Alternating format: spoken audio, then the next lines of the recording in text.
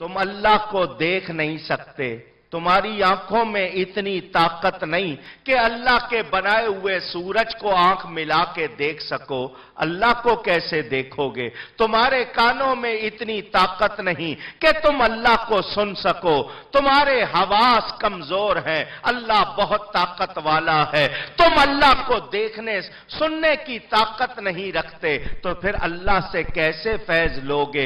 हाँ, जिससे मोहब्बत होती है, उसके दीदार की ख्वाहिश की जाती है। अल्लाह ताला ने अपनी जातो सिफात का आईना बनाकर अपने हबीब को भेज दिया।